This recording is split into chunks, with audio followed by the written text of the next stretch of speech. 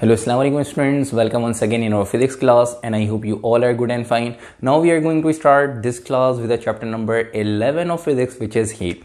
As you know guys in previous class we have completed the chapter number 10 of physics which is properties of matter and now we are going to start this class with a, with the chapter number 11 which is heat तो बेटा chapter number 11 जो है, वो heat chapter number 11 heat हम start करने जा रहे हैं। और हीट के ही टॉपिक से चैप्टर स्टार्ट करेंगे, ठीक है? और उसके बाद फिर हम फर्दर टेम्परेचर और उससे रिलेटेड चीज़ें जो है, वो डिस्कस करेंगे, ठीक है? तो आज की क्लास में चैप्टर नंबर 11 हम स्टार्ट करें और चैप्टर नंबर 11 जो है, वो है क्या आपके पास बेटा? हीट और चैप्टर नंबर 11 हीट जो है, वो हम स्टार्ट करेंगे हीट के ही टॉपिक से। तो जल्दी से हीट डाल दिएगा बेटा हीट की, ठीक है? और उसके बाद हम हीट को डिस्कस करते हैं हीट क्या इसकी डेफिनेशन इसकी प्रॉपर्टी इसकी मोलिकुलर डेफिनेशन इसका सिंबल ठीक है, इसकी मेजरिंग डिवाइस ये सारी चीज़ें हम फर्दर एक ही करके डिस्कस करते हैं, ठीक है? तो अब यहाँ पे अगर हम बात करें बेटा हीट की बेसिक डेफिनेशन की, या हीट की तो हीट क्या है कि वो फॉर्म ऑफ़ एनर्जी जो कि फ्रिक्शन और कोलिजन से प्रोड्यूस हो रही है, ठीक है? तो हीट जो है वो एक फॉर्म ऑफ़ एनर्जी है, जो कि किससे प्रोड्यूस हो रही होती है बेटा? फ्रिक्शन और कोलिजन से। अगर हम बात करते हैं यहाँ पे बेटा फ्रिक्शन और कोलिजन की तो फ्रिक्शन की अगर हम बात करें तो फ्रिक्शन क्या है? The force produce between two surfaces opposite to the direction of motion मतलब किसी भी बॉडीज की आपस में मूवमेंट की वजह से उनकी ऑपोजिट डायरेक्शन में जो फोर्स प्रोड्यूस हो रही होती है, ठीक है तो उस फोर्स को हम बेसिकली फ्रिक्शन का नाम देते हैं, ठीक है। और कोलिजन मतलब टकराना, जब दो बॉडीज आपस में टकराती हैं कोलाइट करती हैं तो उससे भी क्या होता है बेटा? हीट एनर्जी प्रोड्यूस होती है। तो दो तरह से जो है वो हीट एनर्जी प्रोड्यूस होती है, एक फ्रिक्शन और एक बैक कोलिजन ठीक है। अब फ्रिक्शन की बात करते हैं तो फ्रिक्शन की एग्जांपल जैसे फ्रिक्शन से कैसे हीट एनर्जी प्रोड्यूस होती है? तो जैसे फॉर एग्जांपल सर्दियों में घर से बाहर निकलते हैं, स्कूल, कॉलेज जाने का दिल जो है वो चाहता तो नहीं है, लेकिन जा रहे होते हैं, ठीक है क्लासेस लेनी है।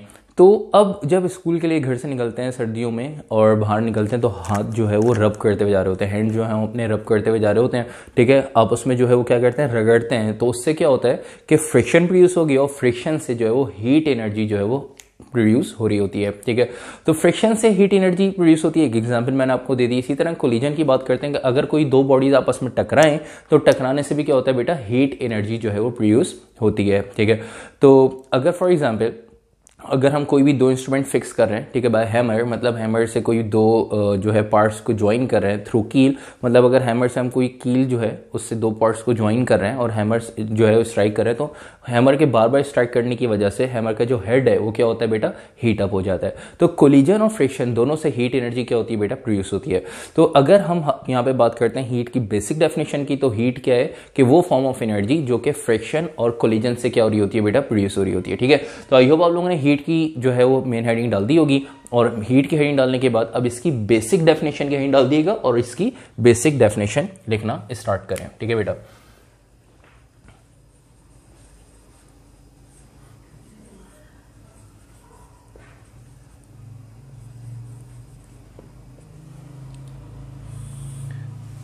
ठीक है? तो बेसिक डेफिनेशन के हिंडल दिएगा और हीट की बेसिक डेफिनेशन बेटा लिखना स्टार्ट करें कि it is a form of energy it is a form of energy it is a form of energy which is produce it is a form of energy which is produce by the friction और collision it is a form of energy which is produce by the friction और collision it is a form of energy which is produce by the friction और collision ठीक है बेटा? Full stop तो ये तो थी इसकी बेसिक डेफिनेशन आपने हेडिंग डाल के बेसिक डेफिनेशन इसकी लिख ली होगी. अब चलते हैं इसकी नेक्स्ट मॉलिक्यूलर डेफिनेशन की तरफ़ और इसकी मॉलिक्यूलर डेफिनेशन जो है वो हम डिस्कस करते हैं. ठीक है? तो हेडिंग डाल दिएगा मॉलिक्यूलर डेफिनेशन की.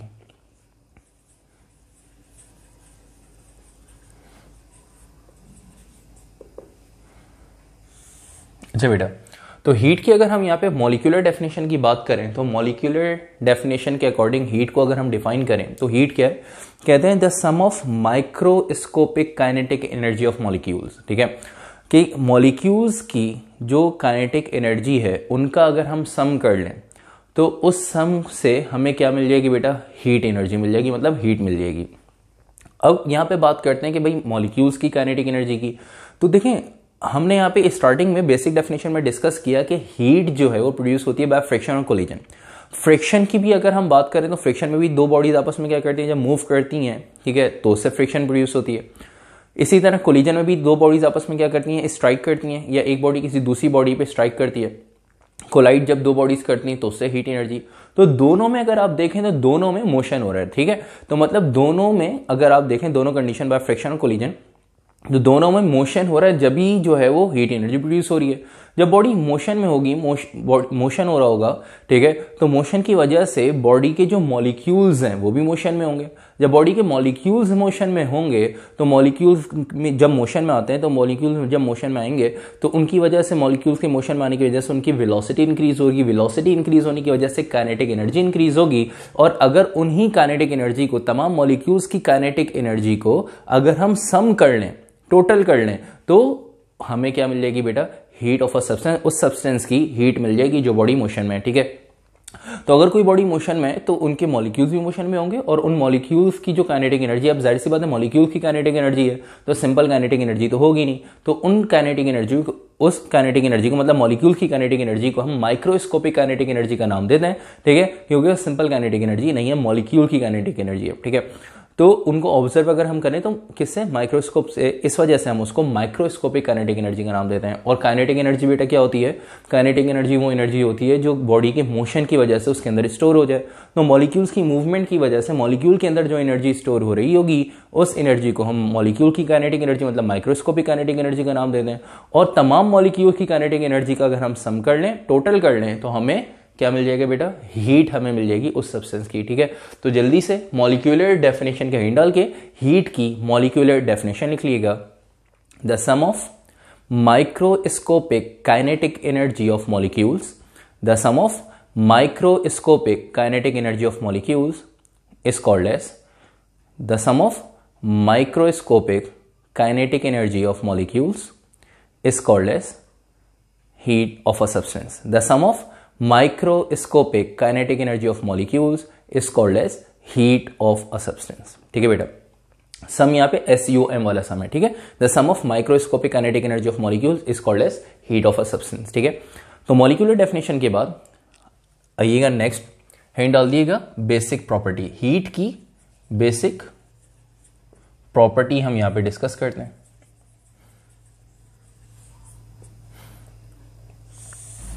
ठीक है? अब यहाँ पे बात करते हैं अगर हीट की बेसिक प्रॉपर्टी की तो बेसिक प्रॉपर्टी हीट की क्या है? कहते हैं कि कि ये वो फॉर्म ऑफ़ एनर्जी है हीट के बारे में बताते हैं, वो फॉर्म ऑफ़ एनर्जी है which is always in transit ठीक है? जो हमेशा किसमें होती है बेटा? ट्रांजिट में होती है, ठीक है? तो जो हमेशा किसमें होती है बेटा? ट्रांजिट में, ठीक है? ट्रांजिट मीन्स मूव करना, ठीक है? अच्छा ट्रांसफॉर्म मीन्स मूव कराना, या ट्रांसफ़र मीन्स मूव कराना, और ट्रांजिट मीन्स मूव करना। मतलब कि हीट जो है, वो हमेशा किसमें होती है बेटा? ट्रांजिट में होती है। मतलब वो हमेशा मूव करती रहती है, हम उसको मूव करवाते नहीं है, ठीक है? उसको ट्रांसफ़र करवाते नहीं है एक फॉर्म से दूसरी फॉर्म में एक जगह से दूसरी जगह पे तो उसको ट्रांसफ़र करवाते नहीं है। हीट ऑटोमेटिकली ट्रांसफ़र हो रही होती है, ठीक है? और जब ट्रांसफ़र हो रही होती है मूव करती रहती है मूव कर रही होती है तो इस वजह से कहते हैं कि वो फॉर्म ऑफ़ एनर्जी है, जो कि हमेशा किसमें होती है बेटा? किसमें होती है बेटा? ट्रांजिट में होती है, ठीक है? मूव करती रहती है। अब वो मूव किस तरह से करती है, किस पॉइंट से किस पॉइंट पे मूव करेगी, किस डायरेक्शन में मूव करेगी, ये सारी चीज़ें हम आगे जाके नेक्स्ट टॉपिक में डिस्कस करते हैं, ठीक है? तो फ़िलहाल बेसिक प्रॉपर्टी के हिंट डालने के बाद जल्दी से एक लाइन की हीट की बेसिक प्रॉपर्टी लिख लिएगा कि it is a form of energy it is a form of energy which is always in transit. It is a form of energy which is always in transit. It is a form of energy which is always in transit. Which is always in transit. ठीक है full stop तो basic property के बाद अब हम यहाँ पे इसकी बात करते हैं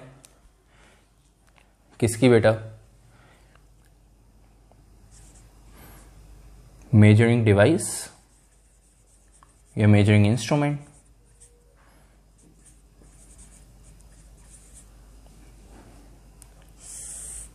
तो हीट की जो मेजरिंग डिवाइस है मतलब हीट को जिससे हम मेजर करते हैं, वो कौन सी डिवाइस है बेटा? हम हीट को मेजर करते हैं इस डिवाइस से कैलोरी मीटर ठीक है? तो हीट जो है हीट का जो मेजरिंग इंस्ट्रूमेंट है हीट की जो मेजरिंग डिवाइस है, या जिससे हम हीट मेजर करते हैं बेटा, वो कौन सा इंस्ट्रूमेंट है, वो कौन सी डिवाइस है, वो है कैलोरीमीटर अब ये कैलोरीमीटर क्या होता है? ठीक है, आपके कोर्स में फ़िलहाल इसका कोई प्रैक्टिकल नहीं है, ठीक है इस डिवाइस का, लेकिन जब आप लोग बड़े होंगे मतलब सेकेंड ईयर में, अगर पहुँचे इनशाला तो आप लोग जो है वो इस डिवाइस मतलब कैलोरी मीटर के प्रैक्टिकल्स करेंगे। वहाँ पे पढ़ेंगे डिवाइस एक्चुअली होती क्या है और हीट को हम मेजर कैसे करते हैं और कैलोरी मीटर को यूज़ करते हुए, ठीक है, कौन से फॉर्मूले से हम जो है हीट मेजर कर रहे होते हैं, ठीक है? तो वो डिवाइस जो है, जिससे हम हीट मेजर करते हैं विच इज़ कैलोरी मीटर इसको हम पढ़ेंगे इंशाल्लाह सेकेंड ईयर और सेकेंड ईयर के प्रैक्टिकल्स में जो है almost six to seven practical ऐसे हैं, जिसके अंदर ये डिवाइस मतलब कैलोरी मीटर यूज़ हो रही होती है, ठीक है? तो मेजरिंग डिवाइस के बाद अब हम चलते हैं हीट के सिंबल की तरफ़, ठीक है?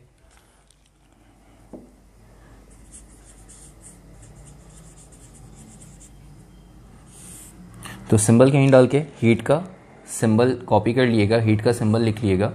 हीट का सिंबल है डेल्टा क्यू और Q you may call delta Q ठीक है? और क्यू तो डेल्टा क्यू लिखें या क्यू लिखें, बात एक ही है, ठीक है? समटाइम डेल्टा क्यू हम यूज़ कर रहे होते हैं। समटाइम जो है वो हम क्यू यूज़ कर रहे होते हैं। ये दोनों जो है वो हीट के सिंबल हैं, ठीक है? अच्छा अब यहाँ पे बात करते हैं। हीट के ऐसा यूनिट की तो हीट का ऐसा यूनिट जो है, क्योंकि हीट जो है वो एक फॉर्म ऑफ़ एनर्जी है, ठीक है? तो इस वजह से जो एनर्जी मतलब हीट एक एनर्जी की टाइप है, आप ये कह सकते हैं तो इस वजह से जो एनर्जी का ऐसा यूनिट है, वही जो है वो हीट का ऐसा यूनिट होगा। तो ऐसा यूनिट की हिंट डाल के हीट का ऐसा यूनिट लिख तो बेटा एनर्जी का ऐसा यूनिट क्या है? जूल इस वजह से हीट का भी ऐसा यूनिट क्या होगा? जूल अच्छा हीट का ऐसा यूनिट एक जूल है, जिसको हम कैपिटल जे से रिप्रेजेंट करते हैं। और हीट का एक और ऐसा यूनिट है वो है क्या बेटा? कैलोरी ठीक है? हीट का एक और ऐसा यूनिट है विच इज़ कैलोरी जिसको हम सी ए एल से रिप्रेजेंट करते हैं, ठीक है? तो हीट का एक ऐसा यूनिट है जूल और हीट का एक ऐसा यूनिट है कैलोरी नॉर्मली हम जूल ही यूज़ करेंगे, लेकिन एमसीक्यू के लिए आपको पता होना चाहिए कि one calorie equals to four point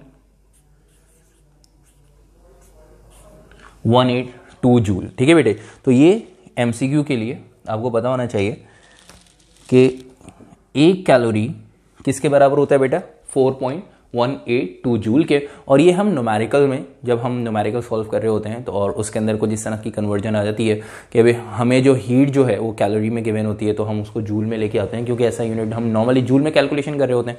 तो किससे? Four point one eight two one calorie equal to इतने जूल इसी तरह अगर जूल से कैलोरी में जा रहे होते हैं तो इस वजह से हम 4.182 से जो है वो हम डिवाइड कर रहे होते हैं। तो अब जो है, अगर हमें जूल से कैलोरी या कैलोरी से जूल में कन्वर्जन चाहिए होती है तो हम ये वैल्यू यूज़ करते हैं, इसको मल्टीप्लाई डिवाइड करते हैं, ठीक है? और उससे कन्वर्जन हम कर लेते हैं, लेकिन हम ये नोमेरिकल में काम करते हैं, सही है?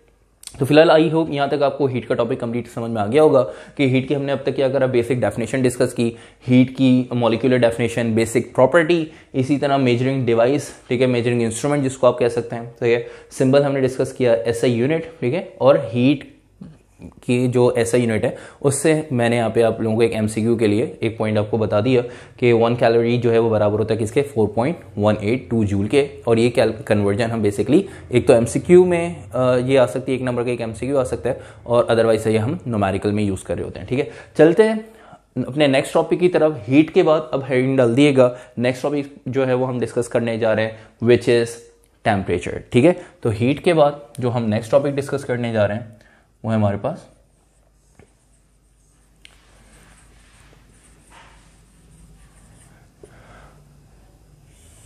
टेम्परेचर ठीक है? अच्छा बेटा तो ढाई डाल दी बेटा जल्दी से टेम्परेचर की, ठीक है? और टेम्परेचर को भी बिल्कुल इसी तरह से डिस्कस करेंगे, इसी तरह से स्टडी करेंगे, जिस तरह से हमने हीट को डिस्कस किया। पहले हम इसकी बेसिक डेफिनेशन फिर फिर हम इसकी मॉलिक्यूलर डेफिनेशन फिर इसकी बेसिक प्रॉपर्टी फिर हम इसका सिंबल मेजरिंग डिवाइस ठीक है? और इसके यूनिट्स जो है, वो हम फर्दर एक एक करके डिस्कस करेंगे, ठीक है? तो जल्दी से बेसिक डेफिनेशन यहीं डालिएगा टेम्परेचर की।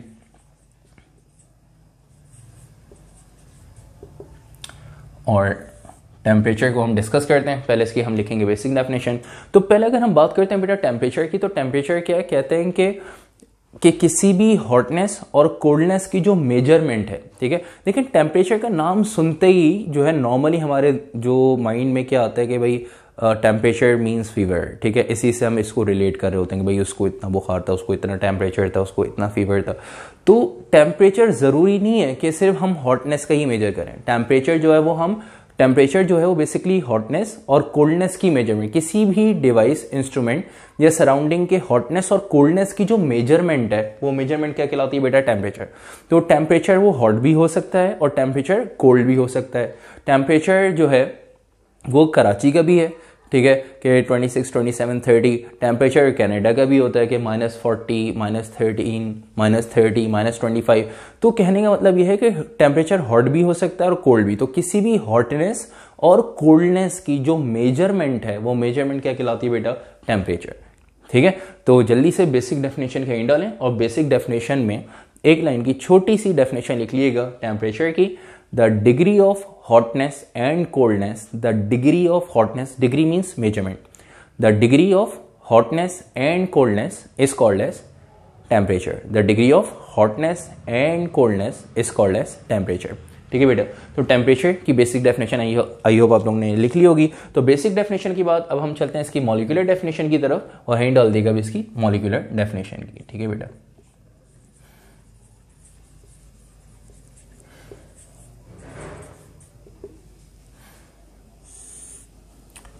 तो मॉलिकुलर डेफिनेशन के इंडल दिएगा हम टेम्परेचर की मॉलिकुलर डेफिनेशन अब हम डिस्कस करने जा रहे हैं, ठीक है?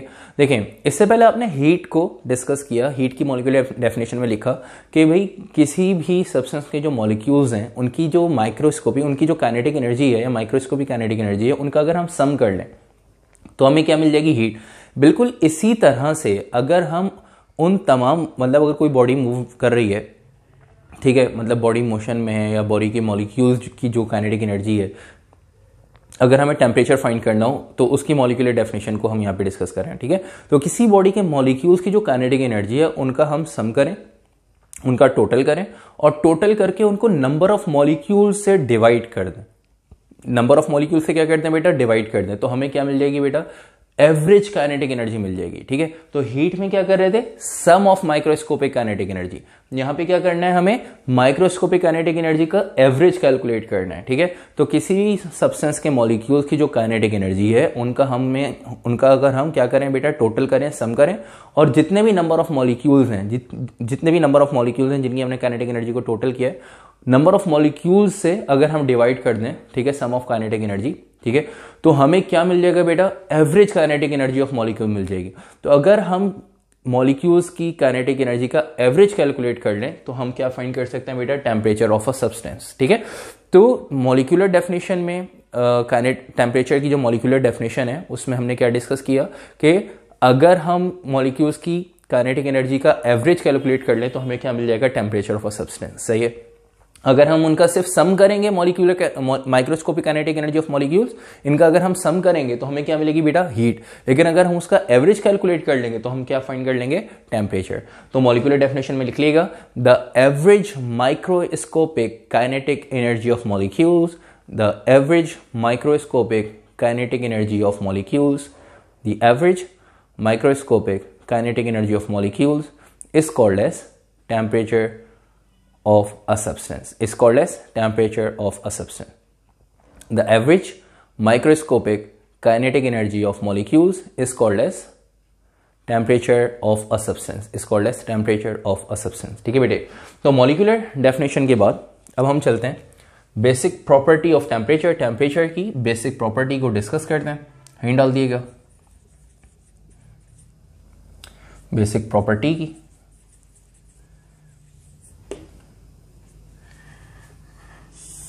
ठीक है बेटा? तो बेसिक प्रॉपर्टी ऑफ़ टेम्परेचर क्या है?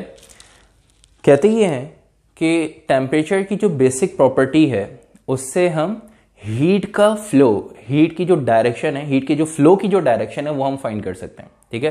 तो बेसिक प्रॉपर्टी ऑफ़ टेम्परेचर क्या है बेटा?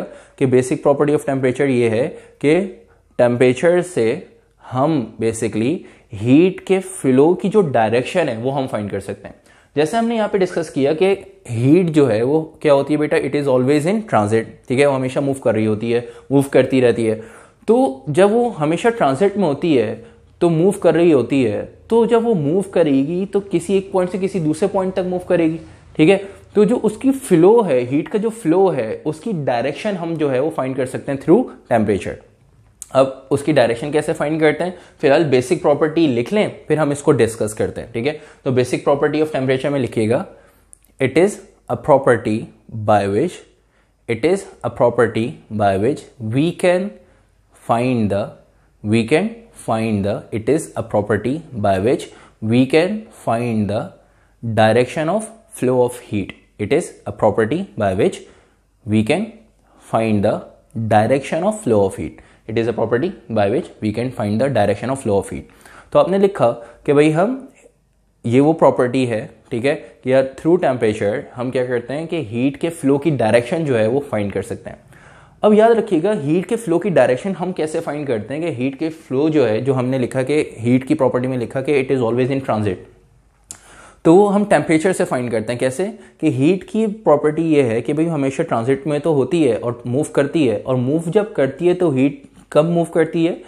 हीट uh, मूव जो है वो कैसे करती है? किस डायरेक्शन मूव करती है? हीट हमेशा हॉट बॉडी से कोल्ड बॉडी की तरफ़ मूव करती है। मतलब हाई टेम्परेचर वाली बॉडी से हीट मूव कर रही होती है लो टेम्परेचर वाली बॉडी की तरफ़। तो इसका मतलब ये है कि टेम्परेचर से हम ये फाइंड कर सकते हैं कि भाई अगर इस पॉइंट पे टेम्परेचर ज़्यादा है और इस पॉइंट पे टेम्परेचर कम है तो हाई टेम्परेचर वाले पॉइंट से लो टेम्परेचर वाले पॉइंट पे हीट जो है वो फ्लो कर रही होगी। या हीट जब फ्लो कर रही होगी एक पॉइंट से दूसरे पॉइंट पे तो हमें पता लग जाएगा कि इस पॉइंट पे टेम्परेचर ज़्यादा है और इस पॉइंट पे टेम्परेचर कम है, जब भी हीट का फ्लो इस डायरेक्शन में। तो आपने क्या लिखा कि it is a property by which we can find the direction of flow of heat मतलब हीट के फ्लो की जो डायरेक्शन है, वो हम टेम्परेचर के थ्रू फाइंड कर सकते हैं। हीट हमेशा किसमें होती है बेटा ट्रांजिट में, ठीक है? और जब मूव कर रही होती है हीट तो हॉट बॉडी से कोल्ड बॉडी की तरफ़ मूव करती है। इसकी जो है हीट के फ्लो की डायरेक्शन एमसीक्यू में भी आ सकता है कि हीट का जो फ्लो है, ठीक है उसकी डायरेक्शन क्या होती है बेटा? Hot body to cold body ठीक है? नॉर्मल केसेस में हॉट बॉडी से कोल्ड बॉडी की तरफ़ जो है वो हीट मूव करती है और ये हम कैसे फाइंड करते हैं? थ्रू टेम्परेचर ठीक है? फ्लो ऑफ़ डायरेक्शन जो है हीट की फ्लो की जो डायरेक्शन है, वो कैसे फाइंड करते हैं? थ्रू टेम्परेचर ये है टेम्परेचर की बेसिक प्रॉपर्टी तो टेम्परेचर की बेसिक प्रॉपर्टी के बाद अब हम आते हैं टेम्परेचर के सिंबल पे।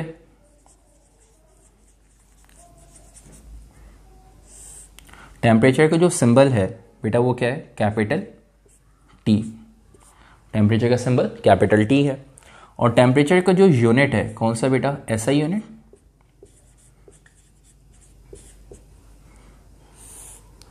टेम्परेचर का ऐसा यूनिट है कैलविन के कैपिटल के ठीक है? टेम्परेचर टेम्परेचर का ऐसा यूनिट के कैलविन ठीक है बेटा? कैपिटल के ये।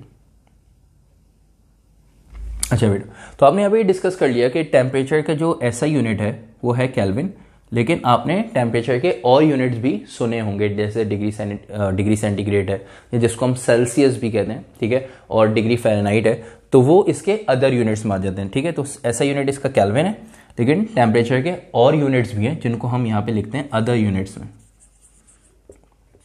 तो अदर यूनिट्स की हिंड डाल के टेम्परेचर के अदर यूनिट्स लिख लिएगा और टेम्परेचर की जो अदर यूनिट्स हैं, वो है डिग्री सेंटीग्रेड जिसको हम कहते हैं डिग्री सेल्सियस और डिग्री फ़ारेनहाइट ठीक है बेटा? तो डिग्री सेंटीग्रेड या डिग्री फ़ारेनहाइट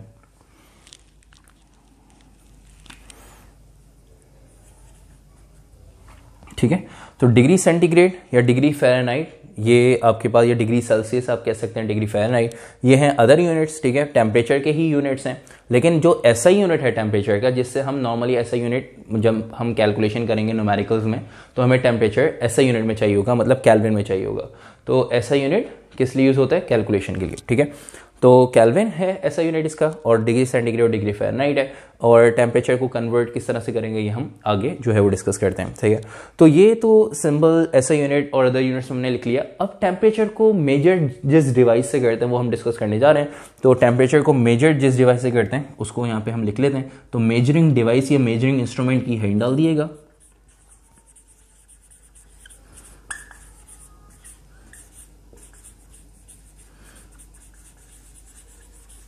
मेजरिंग डिवाइस और you can say measuring instrument तो टेम्परेचर को मेजर हम जिस डिवाइस से करते हैं, आप सबको पता होगा किस डिवाइस से बेटे हम टेम्परेचर को मेजर करते हैं विच इज़ थर्मोमीटर ठीक है? तो टेम्परेचर को हम मेजर करते हैं किससे?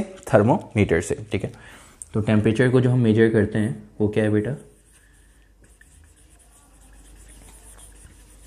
किससे मेजर करते हैं? थर्मोमीटर से, ठीक है? तो थर्मोमीटर वो डिवाइस जिससे हम क्या करते हैं? टेम्परेचर को मेजर करते हैं।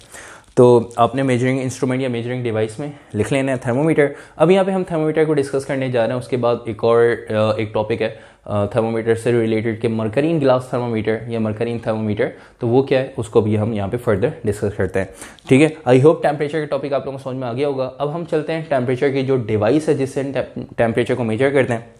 थर्मोमीटर तो थर्मोमीटर को हम यहाँ पे फर्दर डिस्कस करने स्टडी करने जा रहे हैं। तो इन डाल दिएगा थर्मोमीटर की, ठीक है?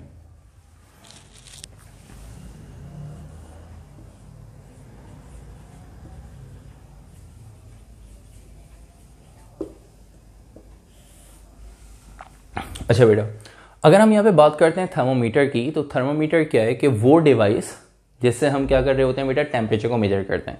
तो एक लाइन में एक छोटी सी डेफिनेशन आप थर्मोमीटर की लिख सकते हैं।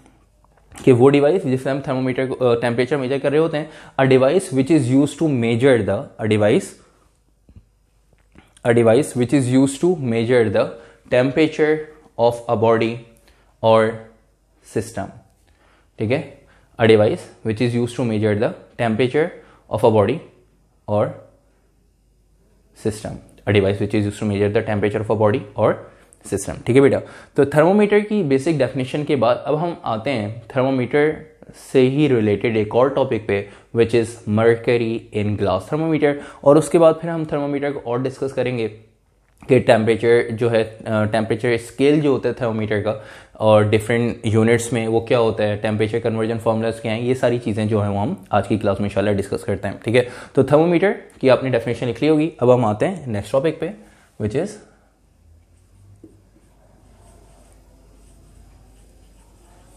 mercury in glass thermometer.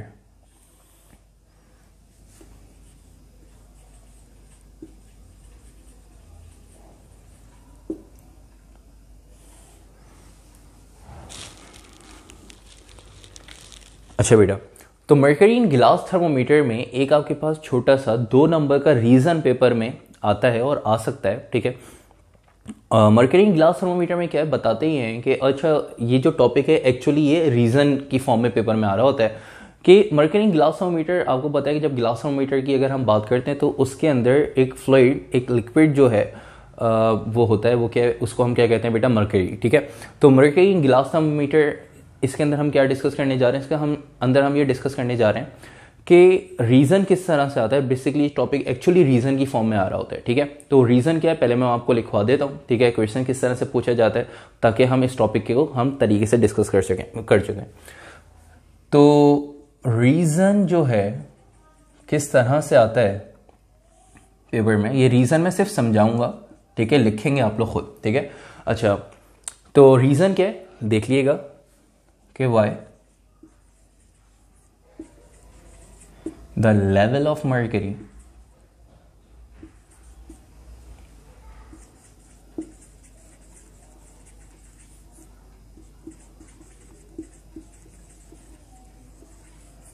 Initially descends.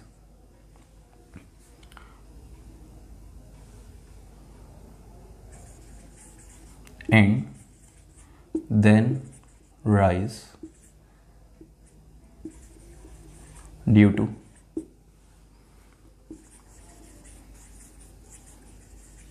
supply of heat ठीक है अच्छा बेटा तो ये है एक्चुअली रीज़न इसका आंसर आप लोग खुद लिखेंगे। ये है एक्चुअली मर्करी ग्लास थर्मोमीटर का रीज़न कि किस तरह से ये पेपर में आता है, वो मैंने क्वेश्चन आपको लिखवा दिया है। तो इसमें हम डिस्कस क्या करेंगे? रीज़न पहले मैं आपको समझाता हूँ, फिर उसके बाद इसका जो है वो आंसर आपको बताऊँगा कि ऐसा क्यों होता है, ठीक है? इसका कॉज मैं आपको बताऊँगा और लिखेंगे इसके बारे में आप लोग खुद। अगर आप लोगों को कन्फ्यूज़न हो तो फिर वो आप लोग जो है वो पूछ लीजिएगा या आप डिस्क्रिप्शन देख लीजिएगा आपको लिंक मिल जाएगा रीज़न का, ठीक है? आप लोगों को रीज़न मिल जाएगा डिस्क्रिप्शन में जो लिंक होगा, उसके थ्रू आप लोगों को रीज़न और उसका आंसर मिल जाएगा। तो कह रहे कि why the level of mercury initially descends और गोज डाउन ठीक है and then rise due to supply of heat मतलब ये कि यहाँ पे पूछा ये जा रहा है कि पहले इनिशियल स्टेज पे जब आप हीट सप्लाई करते हैं, ठीक है थर्मोमीटर को तो हीट सप्लाई करने से हीट सप्लाई करने से मर्करी का जो लेवल होता है, वो पहले नीचे जाता है, ठीक है? डिसेंट पहले वो क्या होगा? नीचे जाएगा थोड़ा सा। उसके बाद वो फिर एक्सपेंड होना राइज होना, ऊपर जाना मरकरी का लेवल जो है वो बढ़ना शुरू होगा। ऐसा क्यों होता है, ठीक है? गिलास थर्मोमीटर की बात हो रही है मरकरी ग्लास थर्मोमीटर तो अगर हम यहाँ पे बात करते हैं बेटा थर्मोमीटर की गिलास थर्मोमीटर की तो आप देख सकते हैं कि ये एक है थर्मोमीटर मेरे सामने, ठीक है? आप लोगों ने देखा होगा इससे पहले भी यूज़ आप लोग करते हैं। तो ये जो गिलास थर्मोमीटर है, ठीक है? इसके अंदर आप देख सकते हैं ये स्केल है। ठीक है, इसके अंदर आपके पास डिग्री सेंटीग्रेड ठीक है सेल्सियस स्केल और फैरेनहाइट स्केल दोनों हो सकते हैं, सिर्फ़ सेल्सियस स्केल भी हो सकता है, ठीक है, और ये नीचे जो होता है, ये गिलास बल्ब होता है, ठीक है, पूरा गिलास का थर्मोमीटर है और नीचे जो है वो गिलास बल्ब है और अंदर जो है वो फ्लोइड जो है वो फिल हुआ हुआ है, किस, कौन सा बेटा? मरकरी में, ठीक है मरकरी जो है वो अंदर फिल हुआ हुआ है। तो जब हम इसको हीट सप्लाई करते हैं, या हॉट बॉडी से अटैच करते हैं, ठीक है, इस गिलास बल्ब को तो होता क्या है कि हीट सप्लाई करने से सबसे पहले हीट जो है, ठीक है रीज़न मैं इसका कॉज बताने से पहले दोबारा रीज़न जो है वो आपको बता दूँ। क्या वो, क्या बोल रहा है एग्जामिनर के why the level of mercury initially goes down या initially descends and then rise कि जब सबसे पहले हीट सप्लाई करते हैं तो मर्करी का जो लेवल होता है वो पहले नीचे क्यों जाता है, ठीक है, और उसके बाद फिर मर्करी का लेवल क्यों एक्सपेंड होना, क्यों बढ़ना शुरू होता है, ठीक है, जब हम हीट सप्लाई करते हैं। तो बेटा जब हम हीट सप्लाई करते हैं तो सबसे पहले हीट सप्लाई होगी। हीट जो है सबसे पहले किसको मिलती है? ये गिलास बल्ब को। जैसे ही गिलास बल्ब को हीट मिलती है तो उससे होता क्या है? ये गिलास बल्ब एक्सपेंड होता है। जैसे ही गिलास बल्ब एक्सपेंड होगा तो इस गिलास बल्ब के अंदर जो मरकरी फिल हुआ हुआ है, ठीक है? तो गिलास बल्ब एक्सपेंड होने से मरकरी का लेवल क्या होगा बेटा? नीचे चला जाएगा। ठीक है? तो जैसे ही गिलास को हीट मिल रही है, जैसे ही सबसे पहले गिलास को हीट मिली तो गिलास क्या होगा? हल्का सा एक्सपेंड होता है, ठीक है? तो हल्का सा गिलास एक्सपेंड होगा तो पहले मरकरी का लेवल क्या होगा? नीचे जाएगा। फिर गिलास से होते हुए हीट जब मरकरी तक पहुँचती है तो उससे फिर क्या होगा? मरकरी एक्सपेंड होना, जैसे ही मरकरी को हीट मिलेगी मरकरी एक्सपेंड होना क्या हो जाएगा बेटा? मरकरी का लेवल बढ़ना शुरू हो जाएगा मरकरी जो है वो राइज हो जाएगा मरकरी का लेवल और मरकरी जो है एक्सपेंड होना शुरू हो जाएगा, ठीक है? अच्छा ये टॉपिक एक्चुअली थोड़ा सा आगे है ठीक है? इंशाल्लाह नेक्स्ट क्लास में हम उसको डिस्कस करेंगे विच इज़ थर्मल एक्सपेंशन तो थर्मल एक्सपेंशन मतलब हीट सप्लाई करने से जो uh, हमारे जो मैटर इंक्रीज हो रहे होते हैं सॉलिड लिक्विड और गैस किस तरह से होते हैं ठीक है? वो हम डिस्कस करेंगे। तो लेकिन फ़िलहाल उसका थोड़ा सा टच इसके अंदर है ठीक है? वही एग्ज़ाम्पल है कि हीट सप्लाई करने से पहले क्या हुआ बेटा? ये जो ग्लास बल्ब है ये एक्सपेंड होगा ठीक है? जो फ़र्स्ट जो है वो क्या होगा? ग्लास बल्ब एक्सपेंड होगा। ग्लास बल्ब जब एक्सपेंड होगा तो उससे मर्करी का लेवल जो है वो क्या हो जाएगा? नीचे आ जाएगा। ठीक है? मर्करी का लेवल जब नीचे आएगा, उसके बाद जब हीट ग्लास बल्ब से होती हुई मर्करी तक पहुंचेगी तो मर्करी का लेवल फिर आहिस्ता आहिस्ता एक्सपेंड होना शुरू हो जाएगा। ये है इसका कॉज ठीक है? तो आपने रीजन जो है वो यहाँ पे डिस्कस कर लिया और ये topic mercury in glass thermometer जो है वो हमने यहाँ पे डिस्कस कर लिया। और आई होप आप लोगों को समझ में आ गया होगा कि ग्लास थर्मोमीटर में जो रीज़न आता है कि भाई इनिशियली स्टेट इनिशियली सबसे पहले जो है मर्करी के लेवल क्यों नीचे जाता है और उसके बाद फिर क्यों वो राइज होता है uh, तो ये आप लोगों का आई होप रीज़न समझ में आ गया होगा ठीक है? ये आप लोगों को हैंड आउट जो है रीज़न का अब वैसे तो आप लोगों ने इसका आंसर खुद लिखना है अदरवाइज़ इसका आंसर जो है वो आप लोगों को हैंड आउट की फॉर्म में व्हाट्सएप के थ्रू मिल जाएगा। अदरवाइज़ अगर आप जो है वीडियो देख रहे हैं यूट्यूब पे तो उसका डिस्क्रिप्शन में लिंक भी आपको मिल जाएगा रीज़न का ठीक है? तो चलते हैं अपने नेक्स्ट टॉपिक पे मर्करीन ग्लास मीटर आप लोगों को mercury in glass metre I hope आप लोगों को टॉपिक समझ में आ गया होगा। तो नेक्स्ट टॉपिक अब हम जो है वो डिस्कस करने जा रहे हैं। उसके अंदर हम स्केल ऑफ़ टेम्परेचर जो है वो डिस्कस करेंगे, जिसको हम कहते हैं जर्नल फीचर ऑफ़ टेम्परेचर और जर्नल फीचर ऑफ़ थर्मोमीटर अगर हम यहाँ पे बात करते हैं जर्नल फीचर ऑफ़ थर्मोमीटर की, ठीक है जर्नल फीचर ऑफ़ टेम्परेचर की तो बेटा इस टेम्परेचर के दो टेम्परेचर स्केल जो होता है, ठीक है, उसके जो दो फिक्स पॉइंट होते हैं। ठीक है? एक लोअर पॉइंट होता है और एक अपर पॉइंट होता है। इसको हम यहाँ पे फर्दर जो है एक एक करके डिस्कस करते हैं। तो हैंड डाल दिएगा स्केल ऑफ़ टेम्परेचर की, ठीक है? हैंड डाल दें। Scale of temperature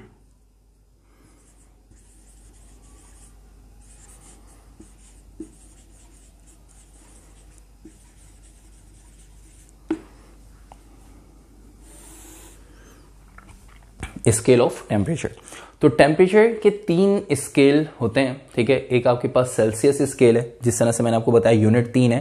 बिल्कुल इसी तरह से इसके स्केल भी तीन है। इन्हीं यूनिट्स पे बेस करते हुए स्केल है, ठीक है? एक कैलविन स्केल है, एक आपके पास जो है वो सेल्सियस स्केल है, और एक डिग्री फेरनाइट स्केल है। ये तीन स्केल है तो स्केल ऑफ़ टेम्परेचर आपने इसकी हेडिंग डालनी है, और उसके बाद ये तीन स्केल यहाँ पे मैं बना रहा हूँ। बिल्कुल इसी तरह से आपने ही बनाना है, ठीक है?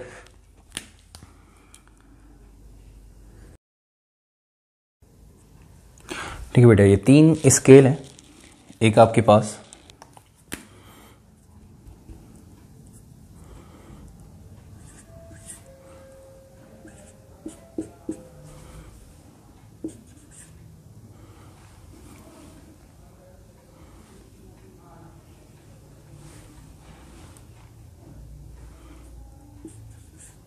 ठीक है।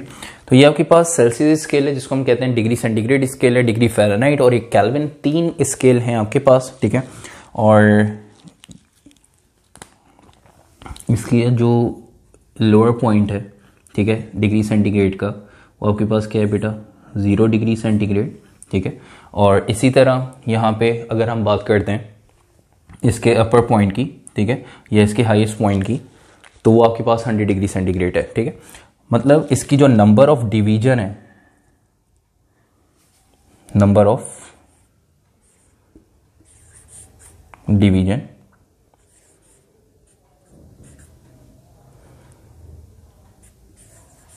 ठीक है? वो कितनी है बेटा?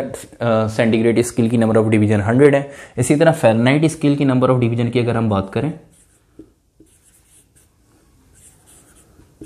ठीक है? वो कितनी है बेटा? 180 है। इसी तरह कैल्विन स्किल की जो नंबर ऑफ़ डिवीज़न है, ठीक है? वो भी कितनी है? 100 है। सही है?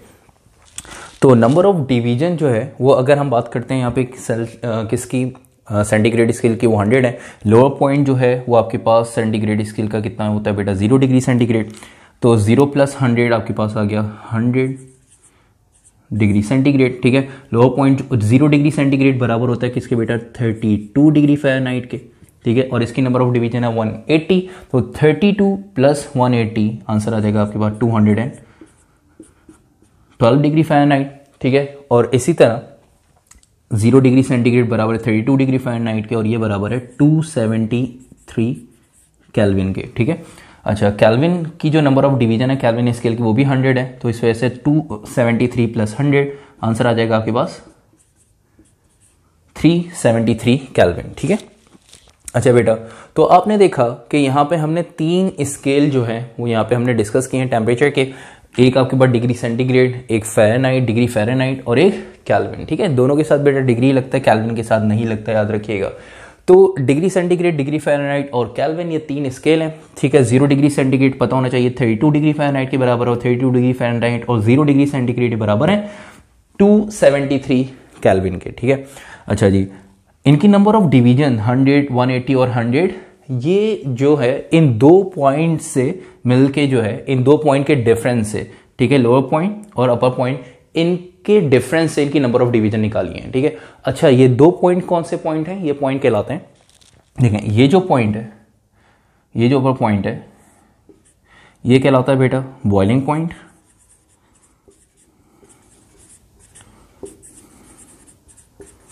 ठीक है?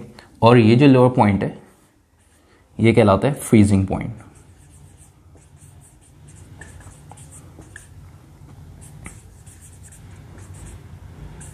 ठीक है?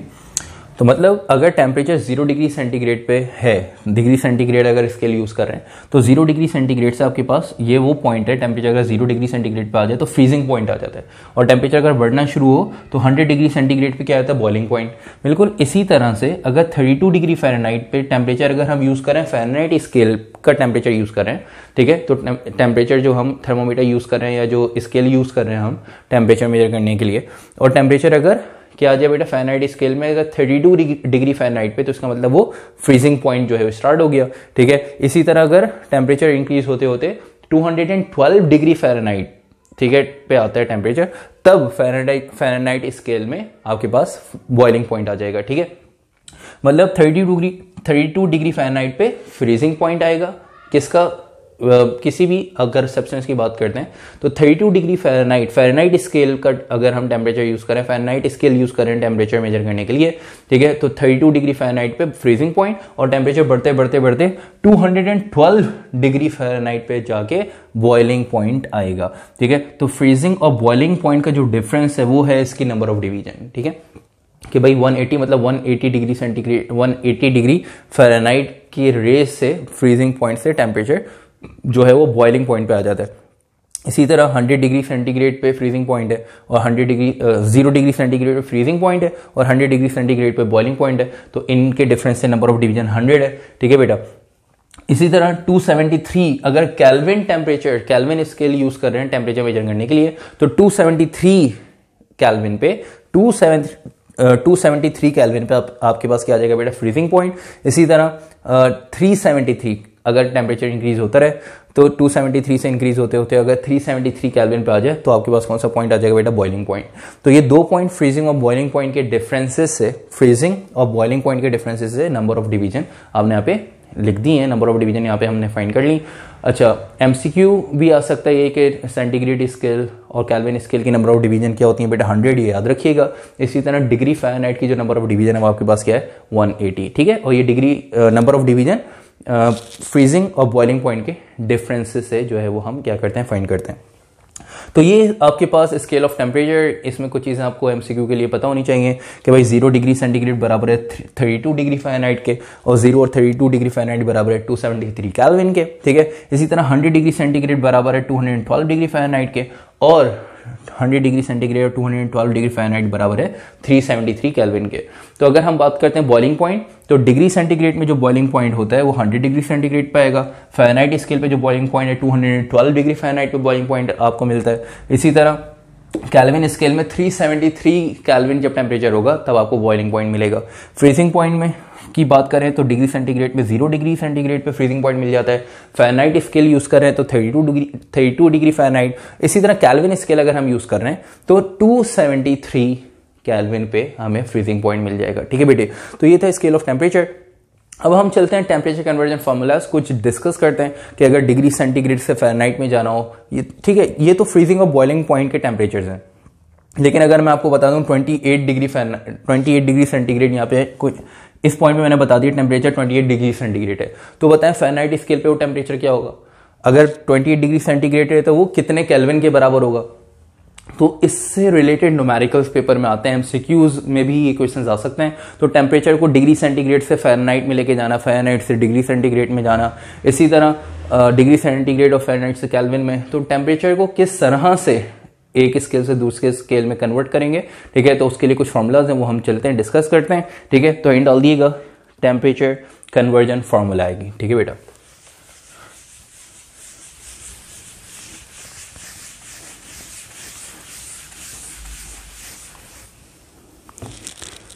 हिंड डाल दें टेम्परेचर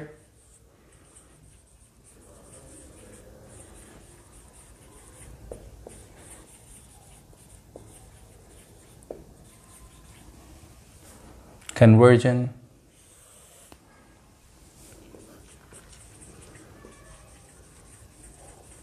फॉर्मूला है तीन फॉर्मूलाज हैं बेटा देख देखिएगा number one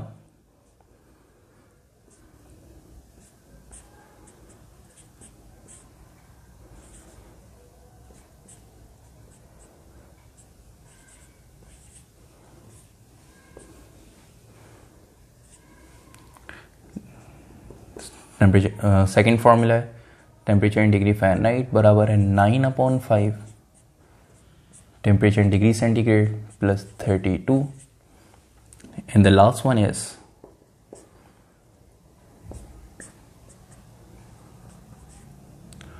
temperature in degree centigrade plus two seventy three ठीक है?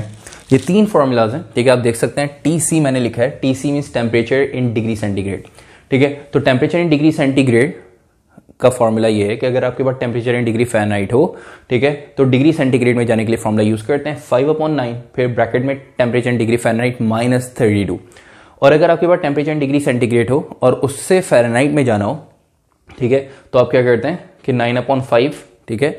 इनको मल्टीप्लाई कर देंगे किससे? टेम्परेचर डिग्री सेंटीग्रेड से। इस फ्रैक्शन को टेम्परेचर डिग्री सेंटीग्रेड से मल्टीप्लाई करेंगे। जो आंसर आएगा इसको सॉल्व करने पे, उसको, उसके अंदर हम थर्टी टू एड कर देंगे, ठीक है? अब यहाँ पे ब्रैकेट है, अब ये देख के यहाँ पे ब्रैकेट नहीं लगाइएगा। और ये फाइव अपॉन नाइन है, और ये नाइन अपॉन फाइव है। रेसिप्रोकल है नाइन अपॉन फाइव याद रखिएगा। यहाँ पे ब्रैकेट लगे हुए, ठीक है? फॉर्मूले में यहाँ पे ब्रैकेट है, यहाँ पे ब्रैकेट नहीं है तो आप लोग ये नहीं समझिएगा कि नीचे ब्रैकेट लगाना सर भूल गए। तो हम लगा देते हैं, बिल्कुल ही काम नहीं करिएगा फॉर्मूला गलत हो जाएगा, ठीक है? यहाँ पे ब्रैकेट का मतलब क्या? पहले ब्रैकेट सॉल्व होगा, जो आंसर आएगा उसको फाइव अपॉन नाइन से मल्टीप्लाई करेंगे। यहाँ पे ब्रैकेट नहीं है, इसका मतलब टेम्परेचर इन डिग्री सेंटीग्रेड को नाइन अपॉन फाइव से मल्टीप्लाई करेंगे, जो आंसर आएगा उसके अंदर थर्टी टू एड कर देंगे। तो टेम्परेचर डिग्री सेंटीग्रेड से फाइनाइट में चले जाएँगे। और अगर आपके पास डिग्री सेंटीग्रेड पे है टेम्परेचर और अगर आपको कैलविन में जाना है तो 273 ऐड कर दें टेम्परेचर डिग्री सेंटीग्रेड में तो आप किसमें चले जाएँगे बेटा? Temperature in Kelvin Kelvin scale में जो है वो आप टेम्परेचर को डिग्री सेंटीग्रेड से कन्वर्ट कर देंगे, ठीक है? तो यहाँ पे मैं लिख भी देता हूँ, बता भी देता हूँ, जैसे ये जो फॉर्मूला है, ये फॉर्मूला कब यूज़ होगा? जब आप टेम्परेचर इन डिग्री फ़ारेनहाइट से जाएँगे टेम्परेचर इन डिग्री सेंटीग्रेड में। सेकंड फॉर्मूला कब यूज़ होगा? जब आप टेम्परेचर इन डिग्री सेंटीग्रेड से आपको जाना होगा टेम्परेचर इन डिग्री फ़ारेनहाइट में। ठीक है बेटा? तो ये सेकंड फॉर्मूला यूज़ करेंगे। इसी तरह टेम्परेचर इन डिग्री सेंटीग्रेड से अगर आपको टेम्परेचर कैलविन में जाना हो, ठीक है? कैलविन स्केल में टेम्परेचर को कन्वर्ट करना हो डिग्री सेंटीग्रेड से तो आप थर्ड फॉर्मूला यूज़ करेंगे, ठीक है? अच्छा फेरनाइट से डायरेक्ट कैलविन में कन्वर्ट आप नहीं कर सकते। अगर आपको फेरनाइट से कैलविन में कन्वर्ट करना हो, आपने बोला, सर फेरनाइट से डिग्री सेंटीग्रेड के लिए फॉर्मूला डिग्री सेंटीग्रेड से फेरनाइट के लिए ये फॉर्मूला डिग्री सेंटीग्रेड से कैलविन के लिए ये फॉर्मूला। अब डिग्री फारेनहाइट से कैलविन के लिए फॉर्मूला बताएँ, तब आप जो है वो डायरेक्ट कन्वर्ट नहीं कर सकते। डिग्री फारेनहाइट से अगर कैलविन में आपको कन्वर्ट करना है तो डिग्री फारेनहाइट से पहले जो है वो डिग्री फारेनहाइट से पहले डिग्री सेंटीग्रेड में कन्वर्ट करेंगे। जब डिग्री सेंटीग्रेड में टेम्परेचर आ जाएगा, उसके अंदर 273 ऐड कर दें, कैलविन में कन्वर्ट हो जाएगा टेम्परेचर। ठीक है, ये है कन्वर्जन फॉर्मूलाज की, ठीक है।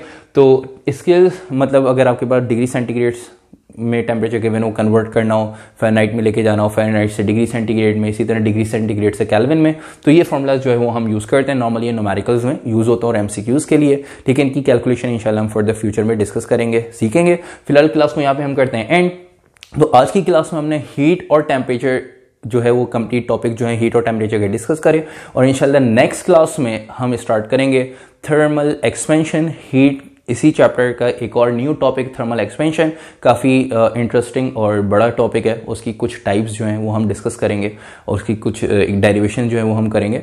तो इंशाल्लाह बस नेक्स्ट क्लास में मुलाकात होती है और आज की क्लास में हीट और टेम्परेचर और उनसे रिलेटेड टॉपिक में कोई भी कन्फ्यूज़न हो तो आप लोग पूछिएगा। इंशाल्लाह नेक्स्ट क्लास में मुलाकात होती है। तब तक के लिए अपना ख्याल रखिएगा। अल्लाह हाफिज़।